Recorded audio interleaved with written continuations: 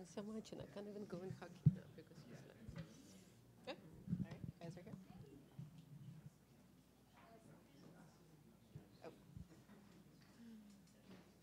Is it good? Okay. All right. Welcome. Can you hear me? Okay, it's on. Good. Hi, welcome. Um, I am Janet Haven. I am the Executive Director of Data and Society. Welcome to our 111th Data Bite. Thank you very much. Bex pointed out that it's a binary. um, so, um, if you're here for the first time, uh, Data is our is our sort of monthly, more than monthly speaker series. Um, June is our special month in Data Bites because our uh, annual class of fellows gives talks every week in June. So this is the second of our Fellows Data Bites series um, with Bex Hurwitz and Mari Bastashevski, um, who we're delighted to have here. Um, how many of you have been to Data and Society before? I may not need to run through much of this. I have I have like a couple of pages that is the like where everything is. Um, so for the for those of you who are new here, uh, Data and Society is an independent nonprofit research institute. We uh, focus on the social and cultural implications of data centric and automated technologies. Um, we do both research and engagement. Um, some of the work that we're focusing on right now involves media manipulation and disinformation, uh, social instabilities in labor futures, um, health, privacy, and data um, and the human infrastructures of artificial intelligence. So there, there are a number of different issues that we're working on. That is not all of them, but just to give you a taste of where, um, where our organizational interests lie. Um, there are a number of ways to stay in touch with us here. Uh, we have a mailing list that you can sign up for, and Audrey Evans right there is the person to talk to about getting on the mailing list if you are not already. Next week, we will have our final uh, Fellows Data Bite um, of, the, of the year, and we would invite you to come to that as well. That is on Wednesday, June 27th. We're also on Twitter at Data and Society, sorry, at Data Society. Um, and the hashtag for this talk is DataBites. Um, housekeeping, our bathrooms are two, two lefts to the back um, if you need it. Um, during the Q&A session after these talks, if you would like to ask a question, just raise your hand and we'll be running around with microphones. Um, we are recording this, so let us know if you don't want to be recorded for any reason. Um, but also that's why we ask you to use the microphone so we can make sure to capture your, your question. Um, if you would like to ask an off-the-record question, we can also do that. Just let us know. Uh, let us know ahead of time. Um, so I'd like to talk very briefly uh, before we go to our talks um, about the Fellows Program at Data and Society and why we why we think it is very special and why we make sure to um, ask our fellows to talk about their work at the end of the year. The Data and Society Fellows Program runs 10 months. It runs from September to June every year. Um, it is a it is a core part of our institutional makeup. It is very important to us to bring people through the organization um, to engage with us, and our fellows have been um, artists, journalists, researchers, um, technologists, computer scientists. Um, we've had people from industry join us over the time. There are a number of different kinds of fellows that have joined us, and they have produced all kinds of different work and different types of research. Um, I think one of the things that I, I really love about our fellows program is that it is research based, but it gives us a way to think about research very broadly. Um, and to think about research as an artistic practice and to think about research as an action based practice. And I think we'll hear about that from both of our speakers today, um, which is really, which is really, really exciting. Um, so I would like to, I'd like to talk a little bit to introduce um, our two speakers today, and then we will get right to their talks. Um, I'm going to start with Mari Bastashevski. Um, Mari is an artist, writer, and researcher, as well as a Data and Society Fellow. Um, well, while I said most of our fellows join us for 10 months, we were only able to have Mari with us since January of this year. Um, but she has made a huge mark um, on data and society in her, her shorter time here. She's been a fantastic contributor, um, leading small group sessions. She's um, building out her artistic and investigative practices within and around our cohort, and it's been tremendously exciting to have her with us. Um, so Mari's past work has involved counter forensic investigations into emerging forms of power produced by new alliances between states, corporations, and media built around data.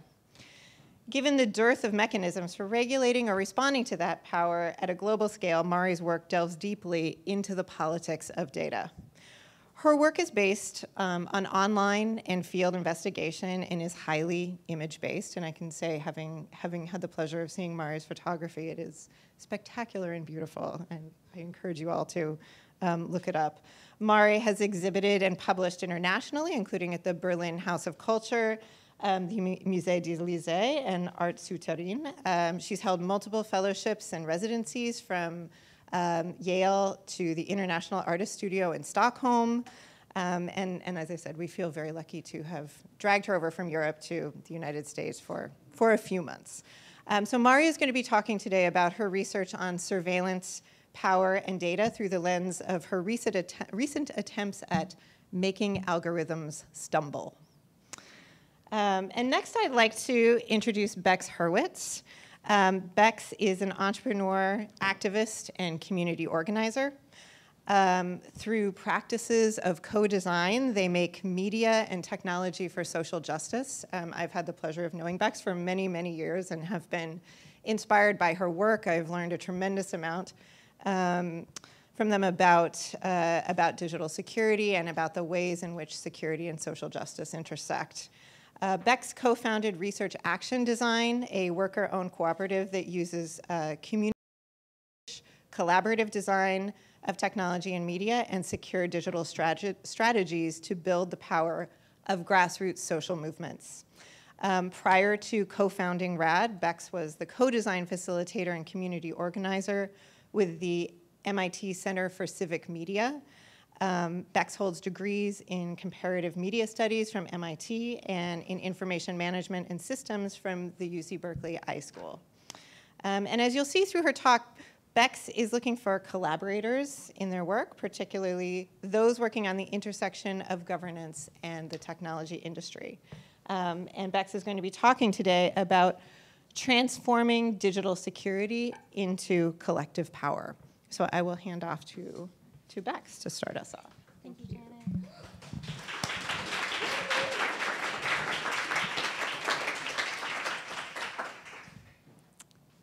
Hi, everyone. Thank you so much for coming today. Um, I'm going to be talking today about transforming digital security into collective power. Um, so I'm going to tell you, um, so lead you towards um, through a story that I've come to to understand based on the work that I do in collaboration with a lot of really amazing activists. Um, I'll tell you a lot of stories about their activism as I go. Um, I just wanted, yeah, just wanted to say it's grounded in the work that I do. So I'm an activist. Um, and to me, what that means is that my work in the world is to design and redesign systems so more and more people can thrive every day. And I'm a techie. So I do my work through, Angie, should I pause? Um, uh, and I'm a techie, so that means I do my work in the world through technology, and specifically through um, designing digital security strategies with activists. So what does that mean? Um, well, what is digital security? Uh, if you look at the news media, maybe you think digital security is all about data and your role in the world as a consumer. Um, since the 90s, um, films like The Net have been bringing us concerns about our identity being stolen on the internet and our inability to make credit card transactions. Um, but even just today, it's still what we're concerned about. This is an ad from the moment um, from Norton antivirus software, also trying to make sure that we can continue to make digital financial transactions. But if you're an activist, communication and being online is a matter of survival and it's political. So what does digital security look like if that's what you're doing online? Maybe you're Women Cross DMZ, which is a global network of women peace activists organizing for peace and reunification on the Korean Peninsula, using email lists and video conferencing um, to organize your actions. Maybe you're the Global Action Project um, based here in New York, and you're young people making media, teaching other young people how to make movies that tell stories about your own life and to understand media monopolies. So again, this communication is all about survival, telling your own story, and it's political. It's about building power. So digital security in this context shows up and it looks like censorship. Maybe it looks like DDoS attacks on your website that take down your website and make it impossible for you to share your own message. Maybe it looks like people targeting your Facebook account and you getting taken down there. Maybe it looks like the internet getting shut down where you're trying to organize. It looks like trolls trying to harass you off the internet. Um, it looks like wondering if you're being spied on. This is a Chicago PD police truck um, with a mobile phone antenna on it. And one of the things that happens when you're organizing is you wonder if your text messages are going to go through without getting intercepted. Um, it also looks like wondering if the social media activity that you've been doing to stay in touch with friends and family and to laugh about things is going to somehow be used against you at a border. So um, it also looks like dragnet surveillance. As, um, as Snowden revealed to us when we, when we learned about the PRISM program, um, there's massive dragnet surveillance it's, that's, um, that's managed by the NSA. Um, but if you, if you know about history, you know that this wasn't new.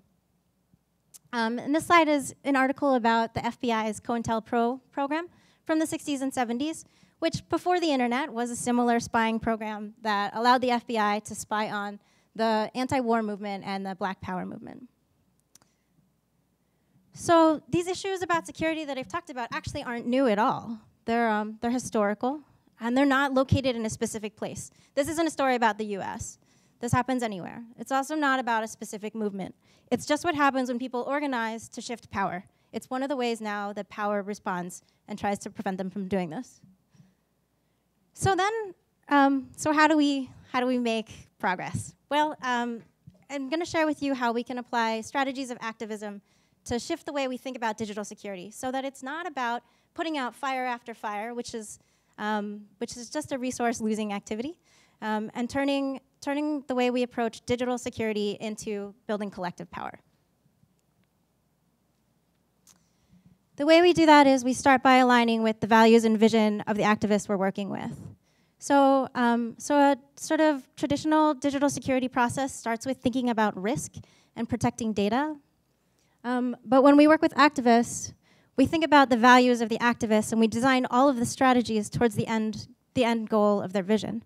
For instance, the Kairos Fellowship, which works with organizers of color and, um, and places them with, with host organizations like Daily Kos, like Move On, like Sierra Club, who have giant online organizing wings.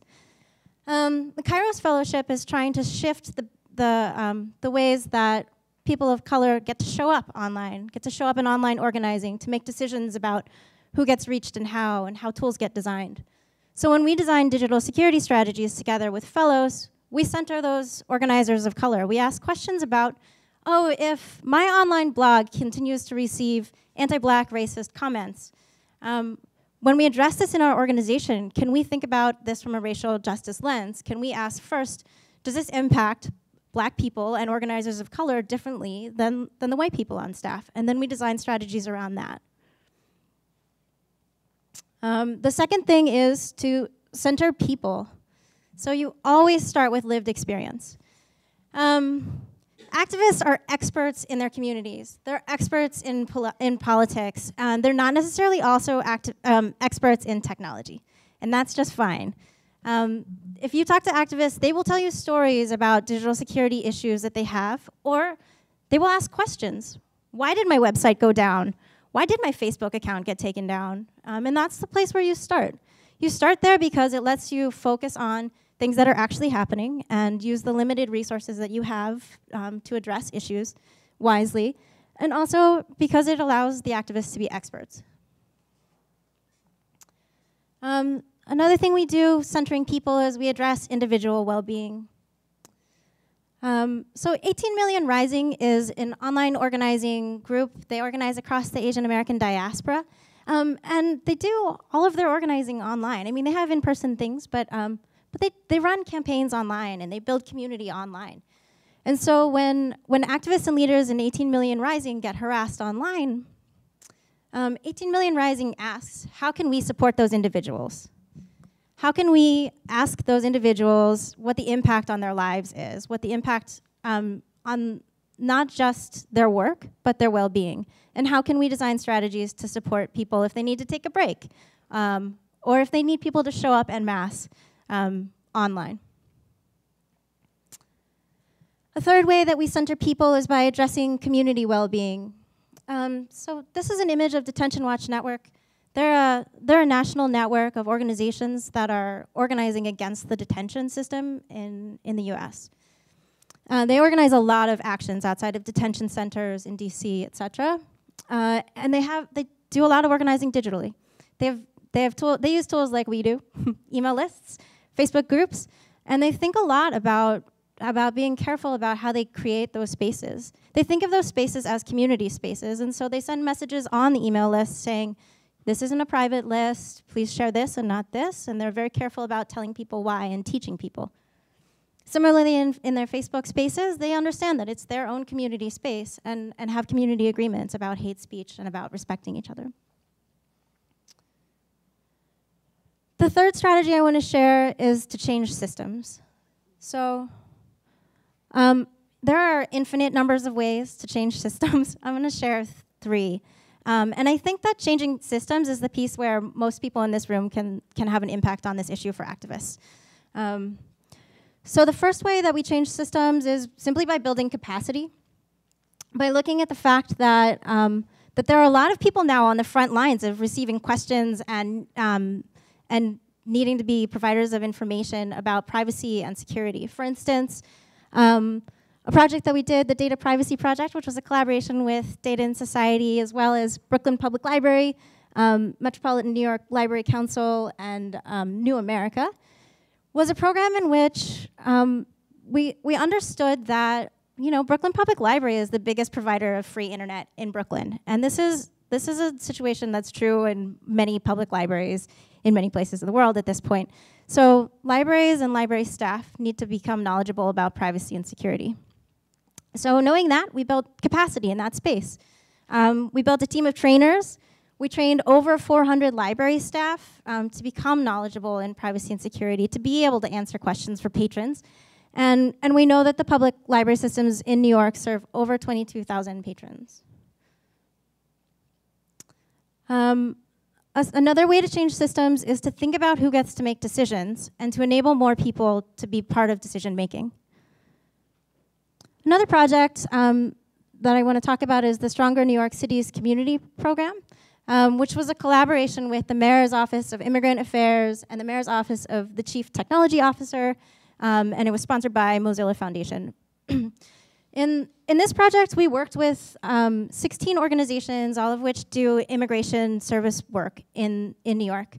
So the mayor's office was asking questions about how can we be a digital sanctuary city if we were trying to be a sanctuary city? And one of their thoughts was, well, we need to help the organizations that are doing immigration work understand digital security better. So this is how we build capacity. We, um, we trained a team of 10 trainers, 16 organizations, um, 20 individuals from like uh, all of those 16 orgs. Um, and, and we know that those organizations serve thousands. And so, so the impact has, um, so the impact is uh, multiplied. And another, the, my final way to change systems, my suggestion is do it yourself. Um, this is an image from Kefir, which is a feminist collective located in Central America. They provide um, services like email, web hosting, um, for movement organizations, and they also do a lot of training. They um, they take their members along with them as they make new decisions about privacy policies, as they as they build new infrastructure.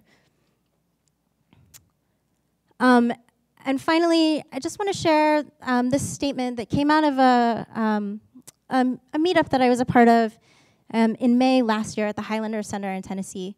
Um, gathered together with 50 movement techies, so people like myself who think of themselves as activists and technologists.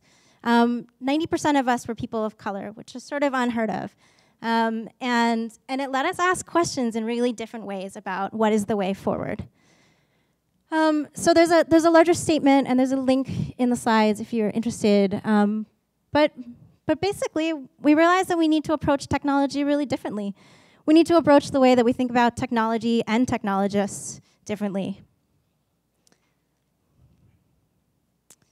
Um, so I just wanted to summarize that I shared three strategies for transforming digital security into collective power. Um, those are always start with values and vision and align any strategy with that. Center people, um, start with lived experience and allow people to be the experts in their own lives. Address individual well-being and community well-being. And finally, change the system. Uh,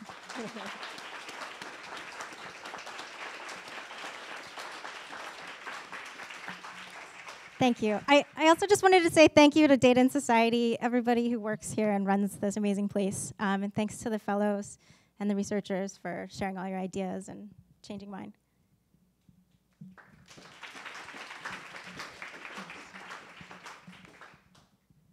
Hello. Thank you so much, Bex.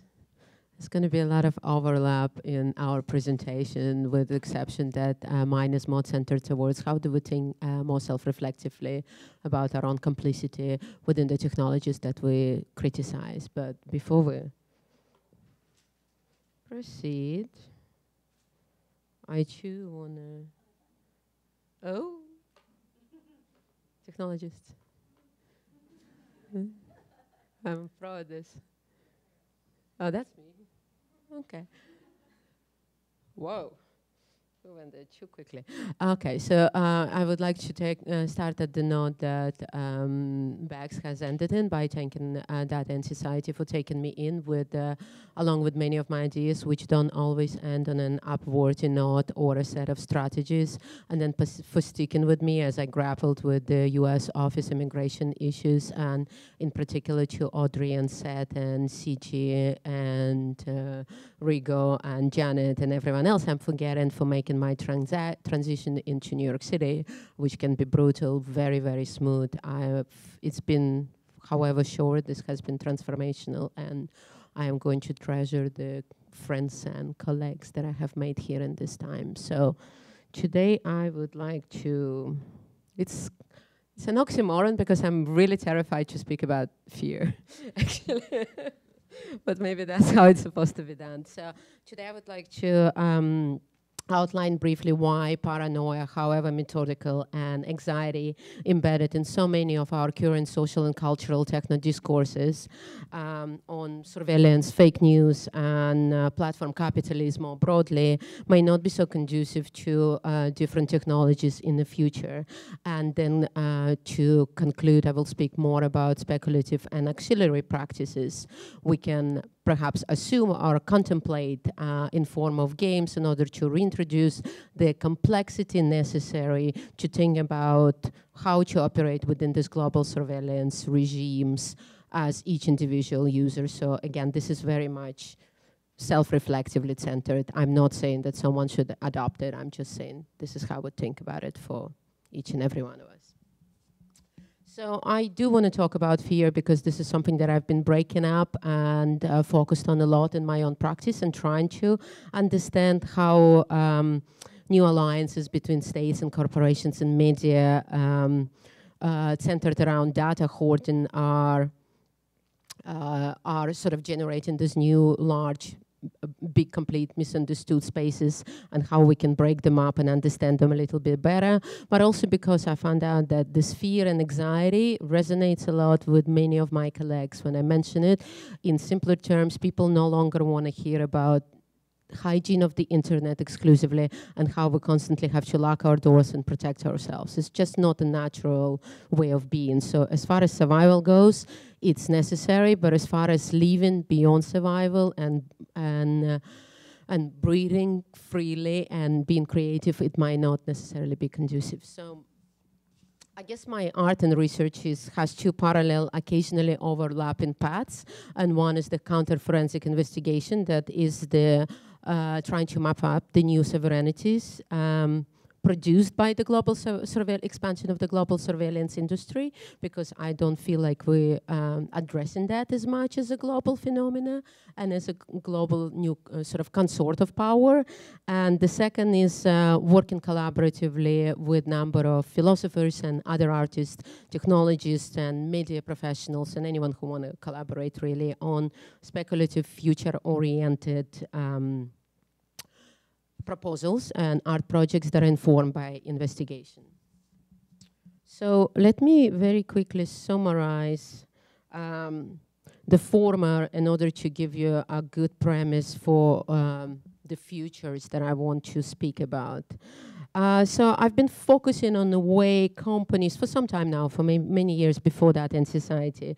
I've been focused on the way uh, companies consolidate power, in particular, and the way this is sort of misrepresented in the in misrepresented in the media and our responses, which is still confined by locality and particular events, and sort of put in precise villains on a spotlight, such as Musk or Bezos or Zuckerberg. Not to say that those people are great, they aren't, they're terrible.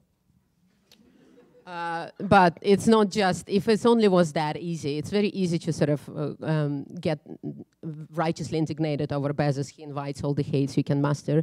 But then as soon as I'm, we talk about how much more complex it is and how we are all involved in some of these processes, many people are just going, "Oh, I don't know, I don't know. I'm not feeling for this today. Let's let's go back to that other hating that other guy.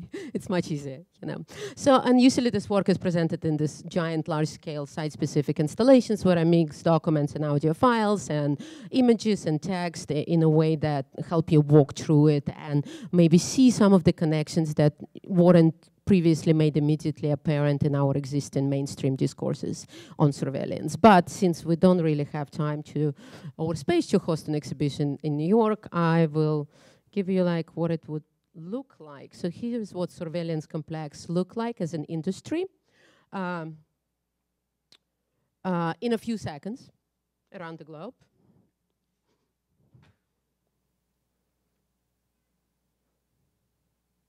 All around the world. And all of these uh, companies that know each other and state officials that know and collaborate between each other. This is Uzbekistan transaction. And uh, you can see more of, uh, uh, more of the text around these issues on my website. And here is usually what uh, surveillance business sounds like.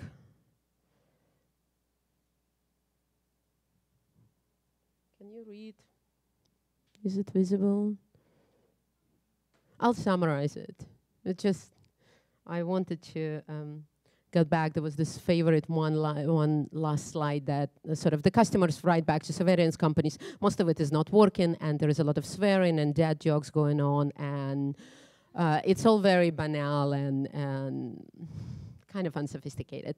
And just to, for a good effect, to focus a little bit on the traditional customers of surveillance and big data companies are usually existing governments, but I would like to play just this one audio of other sort of more auxiliary customers which represent the internet, in this case, the interests of US and and British uh, governments and then purchase these technologies from companies like Verint Israel in order to uh, use them on existing governments in, say, Global South or in Middle East, and then um, uh, help the revolutionaries install new governments and then continue to use the surveillance uh, tools in order to have these governments be more compliant with the US foreign policy. So just in their own words just a very quick. Let's see. This is an experiment. If it doesn't work, I tried.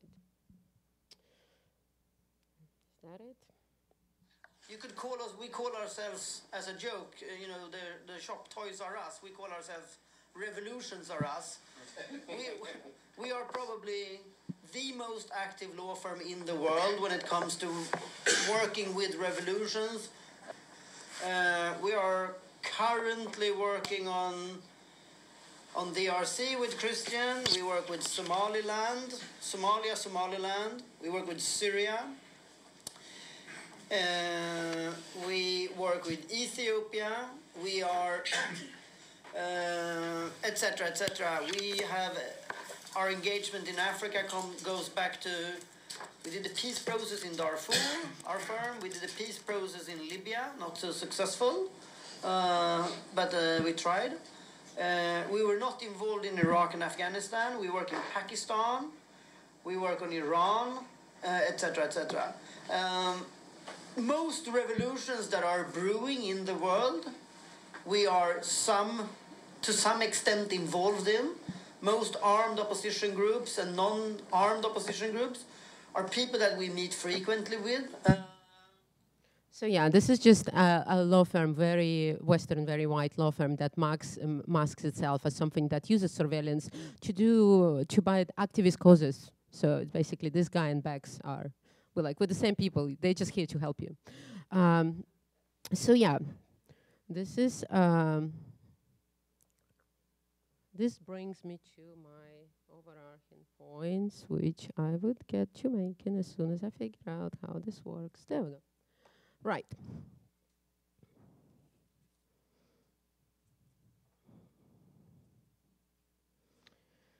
So to proceed to some of the takeaway points, I guess, this is really vastly oversimplified. The relationship between Facebook, Cambridge Analytica, Huawei, TeliaSonera, Siemens, to name a few, Verint Israel, uh, are not, and this sort of the way we read the, about them in conjunction with elections are not a deviation from a norm, it is the norm. Uh, or as the CEO of Hacking Team uh, said to me during our interview in Milan, we don't do business in North Korea, and this is our motto. So everyone else at any other time is totally cool. And um, I think this is um, this norm is interesting because uh, to speak and think about it longer because it is relying on our collective normativity in order to be accepted as such. And I think uh, it's something that is important to think about because uh, we compliment very often the Swedish example in uh, in terms of uh, progress of the defense of the user data, but um, the democracy in Sweden doesn't really matter so much as long as Swedish telecoms are still accepting tender contracts from national security services that are confirmed to boil people alive. These things will still come back to us. It's only as democratic as it is globally democratic. It doesn't matter how good you perform in your local sphere. So we need to think about this as something without perhaps example. And this is difficult, but Secondary, secondly, excuse me, um, not the transaction that I'm describing, the uh, contracts that occur within these environments may be secret, but the ecosystems and the sort of the property and, and the number of people that are involved with them are not secret. And I think by looking at these ecosystems, or let's say the, the metadata around the secret events, and by correlating them with what else is going on at that time around the world, on a global scale as well as locally will give us a very good estimate as to what happens in those contracts. So just saying that everything is secret and we don't know is is a diversion, I think. We can very well figure it out what's up by knowing all the other um, properties of a certain event. And in fact, some of this could be predicted. And this is, I'm going to get to our fun part now.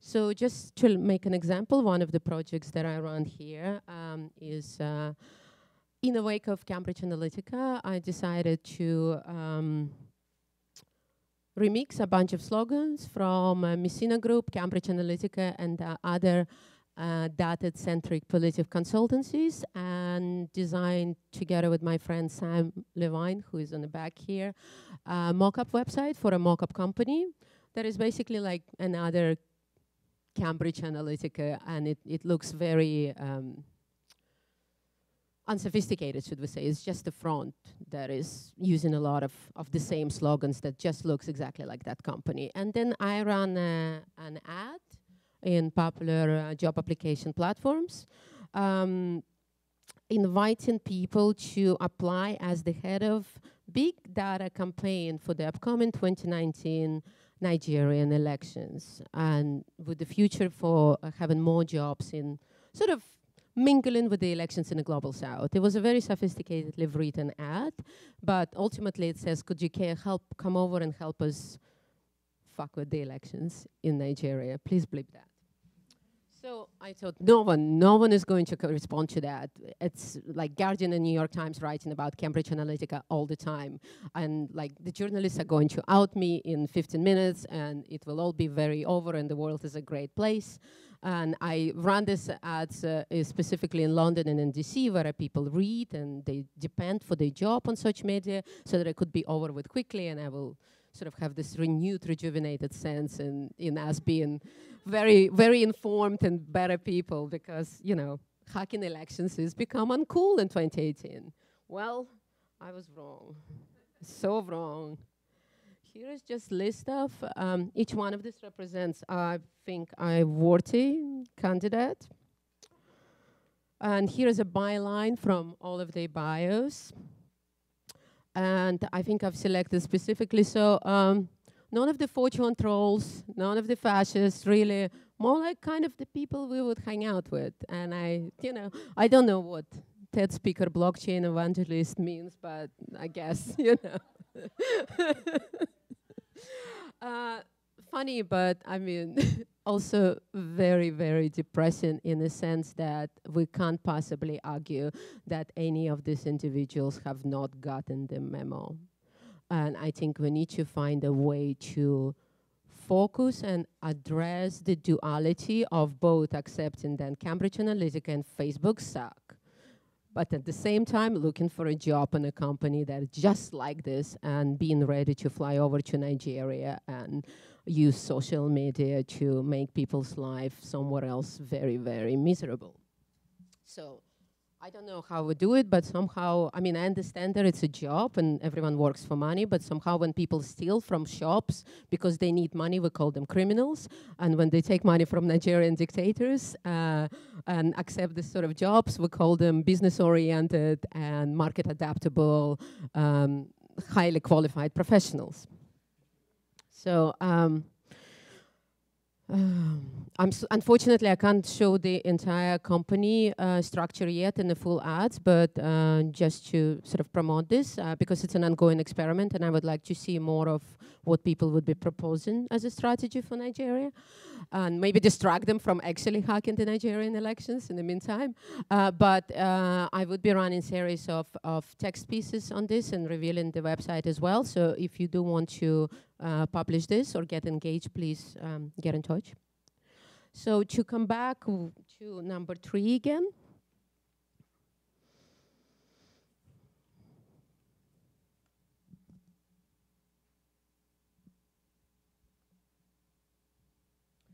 Um, however complicated the systems are, they're not necessarily very complex.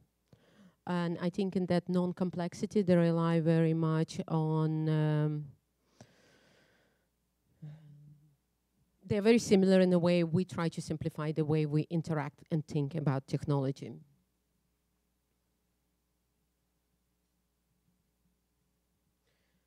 And I want to spend the last few minutes on thinking about how we can maybe make ourselves a little bit uh, less useful by stepping away from uh, uh, producing fairly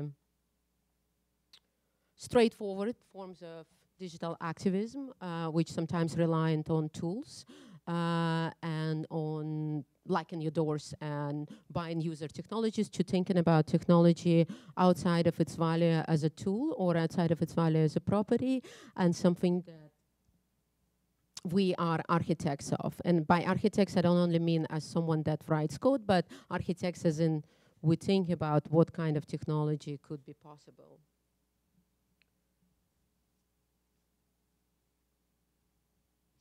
And to conclude on something more specific, this is a project that I have developed that I would like to invite everyone who is interested in this team to participate on. It's called Speculative Media Lab. It's a prototype uh, mediascape uh, designed for collective play through which artists, journalists, and technologists and other media professionals can foster media practice that counters algorithmically driven production of network content uh, which is often the kind of production that becomes a profit driver for many of the surveillance companies that we have around the world. Uh, using a set of specific uh, purpose-based technologies, this project uh, will download the entirety of the internet production uh, that is meant to communicate something to someone uh, in a from within a very, very narrow time frame, and by narrow I mean we're talking about fraction of a second here. It will then again use code to scrap some of the key social constructs that made uh, this online content very profitable for algorithms such as gender, nationality, ethnicity, political affiliation, and so forth. And then uh, the lab is inviting a number of participants to, to, in real time, try to make sense of the archive or what's left of the archive, archive and try to recontextualize it. Um, using categories that go beyond the normative and existent um, editorial conventions and beyond the current uh, forms of algorithmic sorting. And I hope that this and some of the other projects that I'm working on, which I unfortunately won't have to time anymore to go into, will um, inspire us to think a little bit about how we are all very much part of this surveillance machine, but also how we can perhaps consider forming more playful, uh, less neoliberal media practices uh, right within it or nested within it and, and go undetected while also making ourselves a little bit um, less useful or rather more useless uh, to the surveillance mechanisms and these sovereignties. Thank you so much.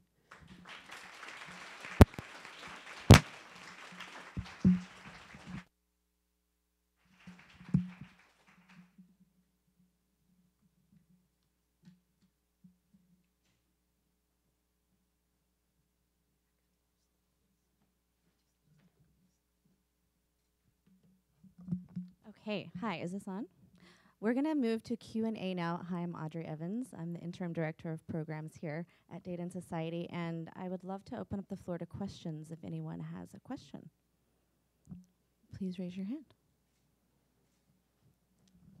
Madeline.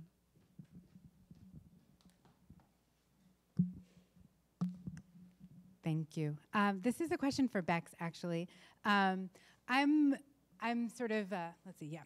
I'm sort of piggybacking on some conversations that I think we've both been a part of, but I'm, I'm, wor- I'm wondering if you could talk a bit about the language of security and um, if, if that's something that like in your work with activists you want to you want to sort of hold on to and reconfigure into power or if you want to actually like move away from the language of security with its sort of weighted militaristic um, origins. Not origins, but orientations. Yeah. Thanks, Matt. Was it working? Oh. um, thanks, Madeline. Yeah, so um, let's see. So when I work with people who are peace activists, like Women Cross DMZ, um, we don't, yeah, mm-hmm. they're, they're challenging security apparatuses globally. Um, and so, so we think about digital security in, in different terms. Yeah, we think about it more as like safety or um, or really as just as a way of enabling those visions and values um, to come to pass. And I think um, I have, in my practice, been moving away from working with people to define specific digital security strategies, um, which was sort of where I started, was working with activists to come up with digital security policies, how we use email, how we don't, how we set passwords, that kind of thing, etc.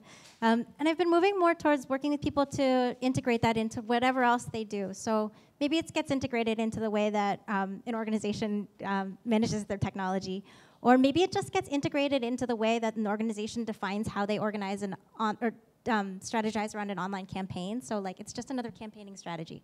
We think about we think about whether or not this thing could lead towards harassment and what we're going to do about it.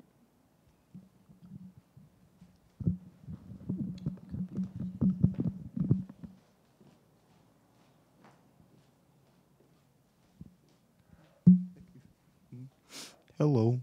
Uh, um, I guess this is on. Uh, uh, I guess uh, your Bex. Uh, I guess this one's.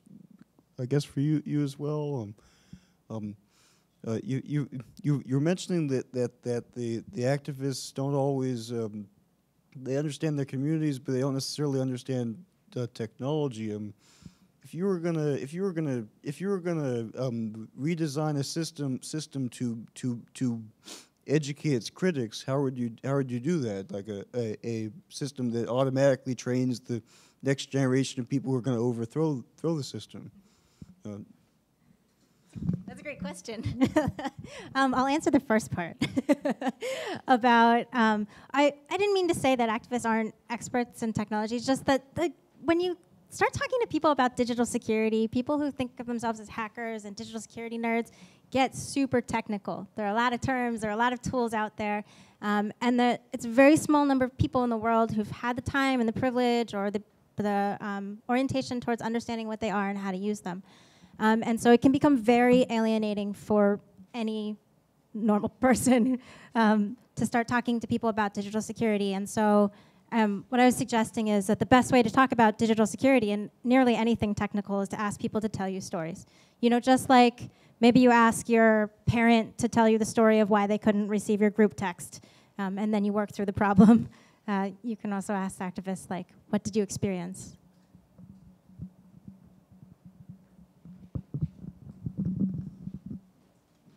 Um, so thank you both for your uh, your work in the world. Um, so this question is for both of you. Uh, I think what's great seeing your work side by side is um, really about the overlaps and the dissimilarities, and it you know it feels like in one respect, uh, Bex, uh, that your work has this like very imminently practical uh, orientation, and Mari, you're engaged in sort of this artistic praxis that even in your own words, sometimes you're like, oh, how do we be less useful? And I'm curious about your how you guys think about uh, either the complementarity of those two perspectives, if they you see them and so, as complementary, and where there are different you know divergences in terms of like what they can accomplish differently in the world. And I know that's not an easy. Uh, and there might be a lot of assumptions I just made, but oh, give it a go.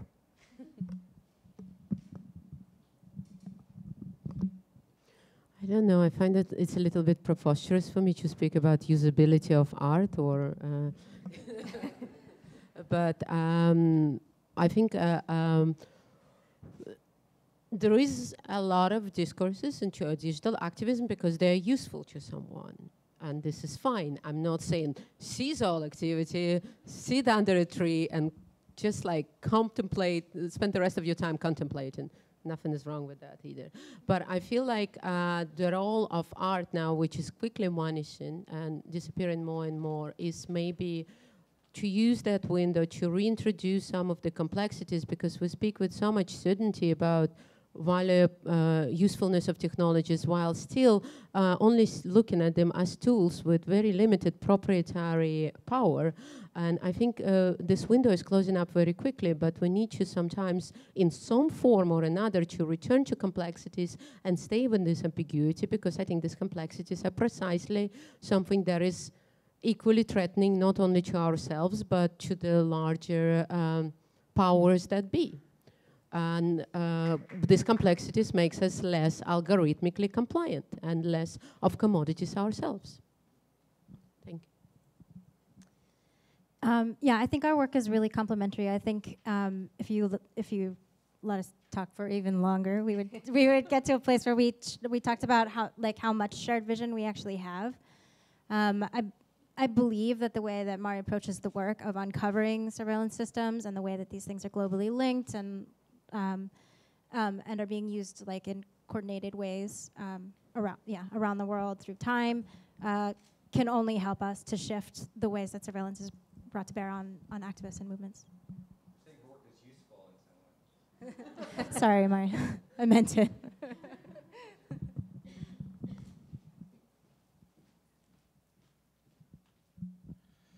Hi, thank you very much. This is a question for Mari.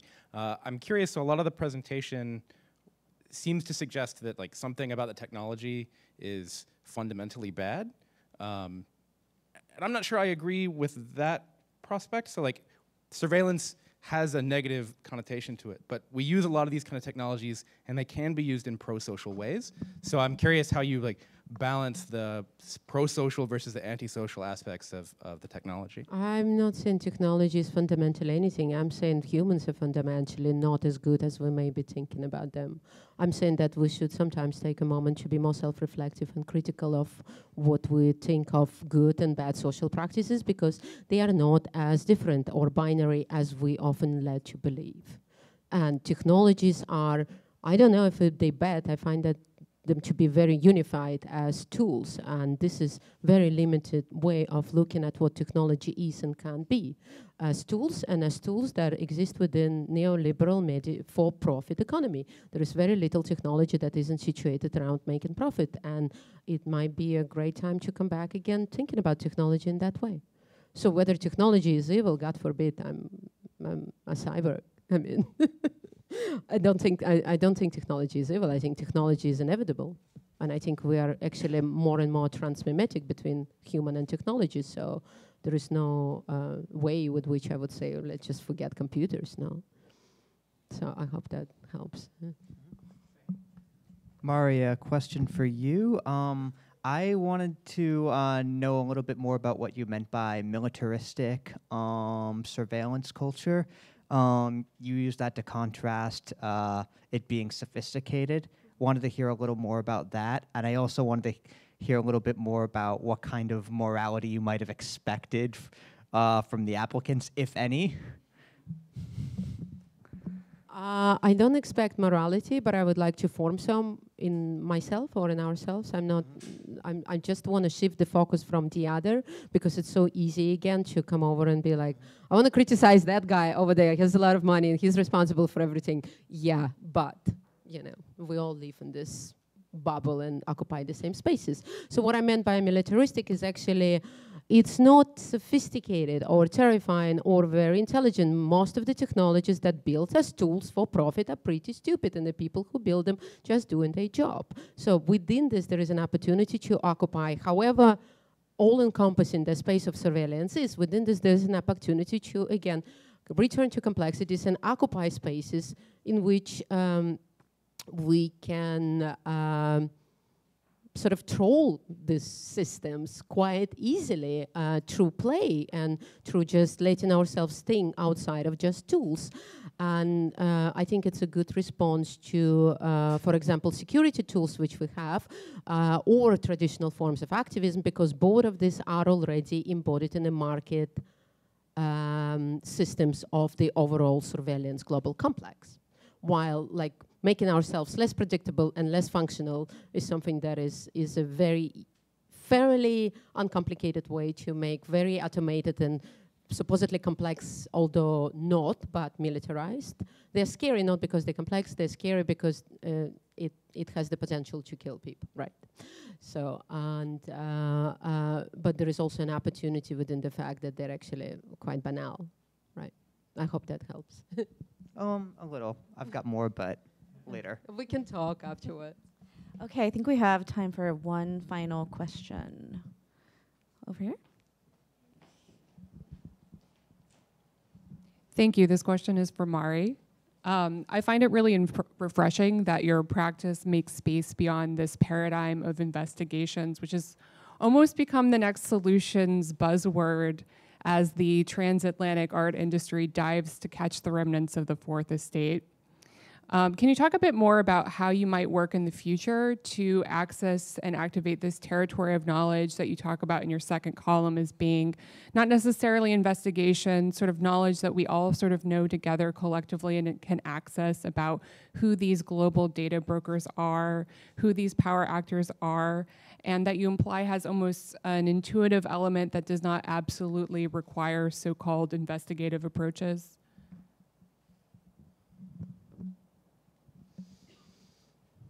That's a lot of work to map all of this into universally accessible knowledge for like high school level. I don't know, but I think um, part of it maybe would be to look around in places that you go past every day and see how these processes are connected to other, or to look for the way uh, roots of, of different things are connected beyond uh, the explanations that you already have. So, I mean, we need a different word for that, but I would say I would almost encourage sort of this schizophrenic approach of looking at, say, fake news and saying, okay, suppose you say that part of it is true. Let me let me imagine that I believe you. Maybe some of it is true, it's just more complex. What happens if we talk about the part of it that it is true? What if we try to, for the sake of experiment, follow a different route and figuring out how it might be true rather than proving that it's all false and what we could learn along the way. But how to uh, educate across all fields is I don't know, engage in more collaborative trans, uh, trans uh, departmental project and hang out with activists and uh, go and, I mean, a lot of my practice is performative. As an artist, I go into these uh, places where you don't expect an artist because I think on some micro level, your presence changes that space a little bit. And uh, if we uh, try to mix and remix a little bit different disciplines, then we can inform each other. And if we can ask and learn, I learn a lot about surveillance and thinking about surveillance or explaining how it's global by uh, borrowing from uh, architects and architectural theory and uh, models like um, continuous monument, which was once um, a sort of positive representation of technology back in um, um in Gibson days, and now it become a, a, a much more charged and negative connotation of surveillance. Uh, but beyond this, um, I will have to think about this and get back to you in a year or a decade. but I promise I will think about it.